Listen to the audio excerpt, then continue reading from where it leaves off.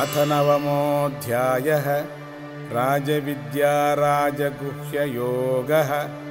श्रीभगवानुवाच।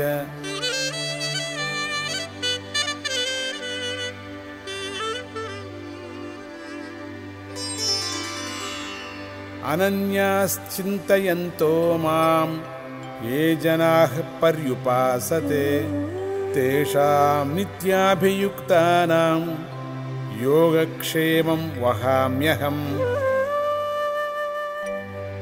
पत्रं पुष्पं फलं तोयं यो मे भक्त्या प्रयच्छति। तदहं भक्त्युपहृतम् अस्नामि प्रयतात्मनः। यत्करोषि यदस्नासि यज्जुहोषि ददासि यत् यत्तपस्यसि कौन्तेय तत्कुरुष्व मदर्पणम्। मन्मना भव मद्भक्तो मद्याजीवां नमस्कुरु। मामे वैश्यसि युक्त्वैवम् आत्मानं मत्परायणः।